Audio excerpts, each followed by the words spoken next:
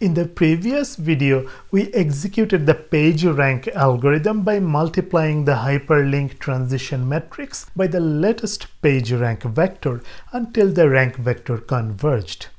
Today, we will do a deeper analysis, discuss what the PageRank algorithm has to do with a search engine, and then bring up the topic of a potential issue with the PageRank algorithm we have learned so far.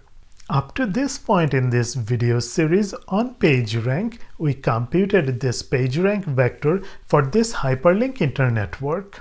Starting from an initial PageRank vector of equal values, we did iterative multiplications of the transition matrix and the latest PageRank vector.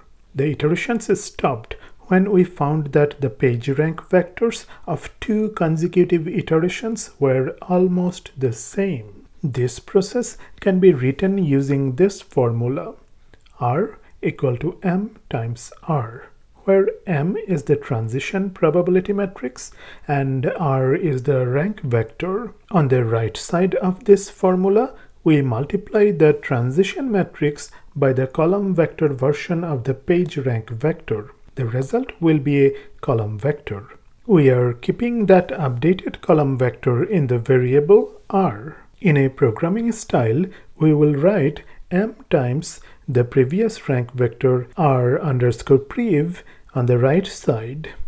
The resultant column rank vector will be kept in the variable r underscore new. That is, after the execution of this line, r new contains the latest rank vector and rprev contains the previous rank vector. Let us outline the pseudocode of the PageRank algorithm. I will write the pseudocode in Python fashion. Let us say that we are writing a PageRank function which has two parameters. One, the transition matrix, which is a column stochastic matrix, and the second element is the number of websites in the network. The second parameter is redundant because the number of rows or the number of columns in the transition matrix is equal to the number of websites. We are still using the second parameter for better clarity.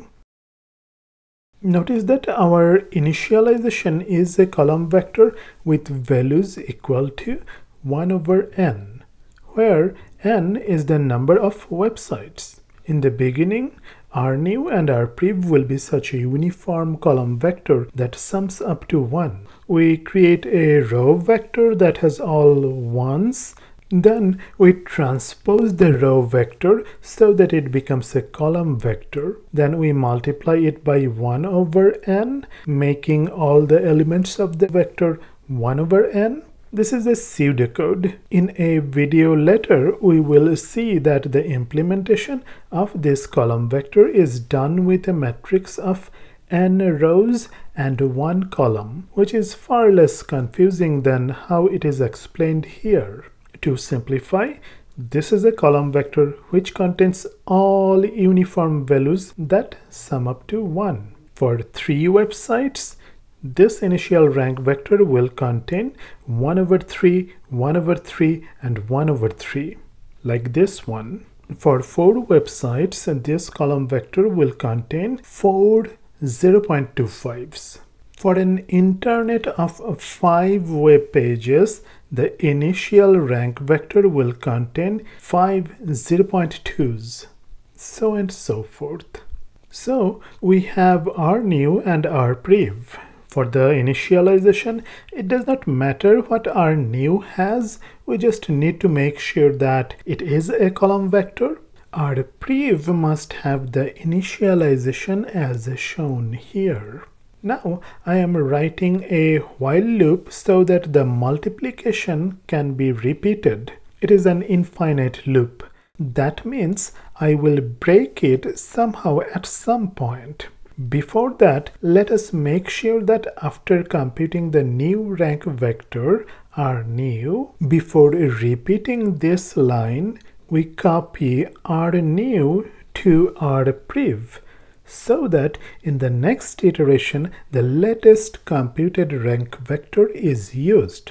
If this keeps iterating, there will be a time when rprev and rnew will be almost the same. That is, the rank vector will converge. At that time, we should break this loop. We put a check here if r new and rprev are almost equal, then break the loop. After coming out of the loop, r new contains the latest page rank vector that has converged. So we return r new. This pseudocode shows the basic page rank algorithm. It has its issues. We will later see what those issues are and how Google mitigates those issues. In the previous video, we wrote an equation for each web page by summing up incoming importance or PageRank values.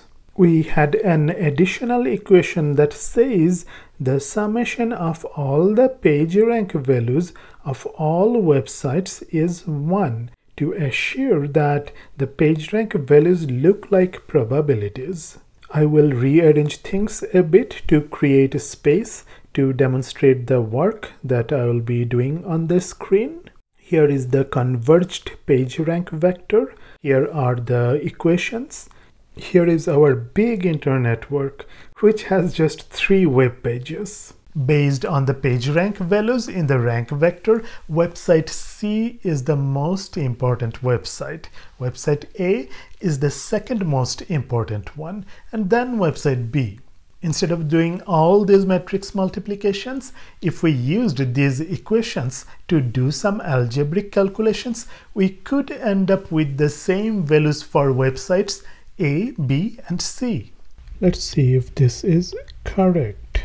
I will quickly solve it in fast forward mode.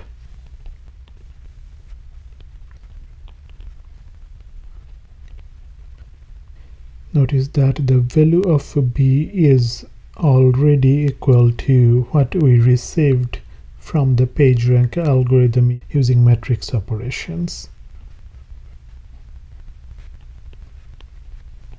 The value for C is matching exactly the value of C that we received from the PageRank algorithm using matrix operations. Now finally, since we have the values for b and c, we can use the equation a plus b plus c equal to 1 and replace the values of b and c to find out the value for a. 0.272727 which is exactly equal to what we have the value for a using matrix operations. Therefore, whatever we can solve using algebra, we can solve it using the matrix multiplication operations between the transition matrix and the latest PageRank vector. One issue with the algebra-based solution is that it is hard to implement, where the process we used to multiply two matrices that is the transition matrix and the latest PageRank vector, that process can be implemented easily. Now let's say that this is our PageRank vector. How a search engine uses this PageRank vector. The search engines pre-compute all these PageRank values of all the websites whenever someone searches for something let's say if someone is searching for generative adversarial network. The search engine has a very good indexing. It can quickly retrieve which websites contain the phrase generative adversarial network very quickly.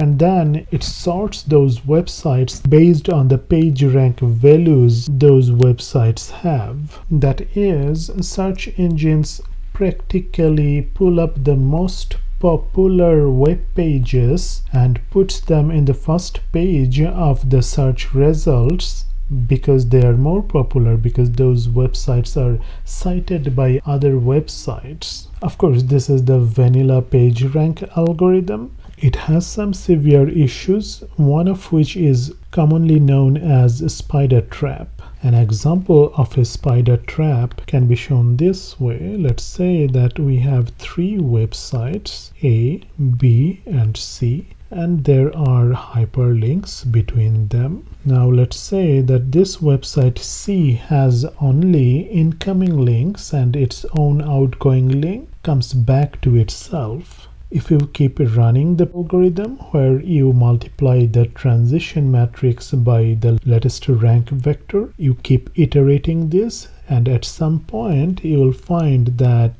website A has zero page rank value, website B has zero page rank value and website C has page rank value of 1. That means website C will be stealing all the page rank juice from the entire network because it does not distribute anything, any importance to other websites. So all the importance values will end up being here. A spider trap can kill the PageRank algorithm. A website could hyperlink to itself and no other websites to take out all the PageRank juice from the internet. Of course, given some structural connectivity with the rest of the internet via hyperlinks from other websites. The next video focuses on spider traps and Google's mitigation on the spider trap issue. Before you attempt to watch the next video, smash the like or dislike button based on if you liked or disliked this video. Be sure to subscribe anyway.